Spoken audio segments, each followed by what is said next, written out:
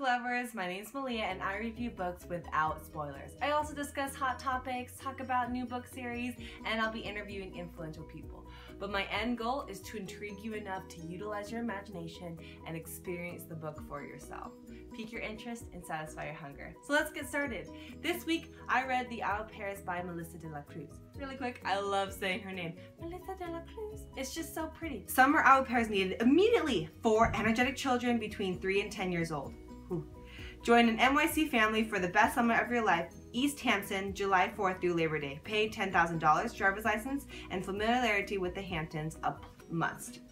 And so I love this book. One of the three au pairs, discreetly named Eliza, she was right in the heart of East Hampton and she never felt uncomfortable. But in her case, her dad went from hero to zero. He was making a ton of money and then he started making cardboard signs. And so she was so desperate to leave her unmentionable city that she ventured off to become an au pair in the East Hamptons. And she unknowingly bumped into one of her fellow au pairs who was a little ill-dressed and foreign looking. That's the first chapter, so that's where it starts. Doesn't give any spoilers on that one, and I really enjoyed it. But I do give it a rating of 6 out of 10. Why? Because I didn't like one of the main characters. This is a book of three different perspectives from three different girls. I didn't like one of the characters, and that's one third of the book, so I give it a one third rating, which is 6 out of 10. It's a really quick read, about 294 pages, and well worth it, because it'll start you off into the next two books, which are a lot better. Did like this book, but I think it could have been better, and that's why I give it a 6 out of 10 rating.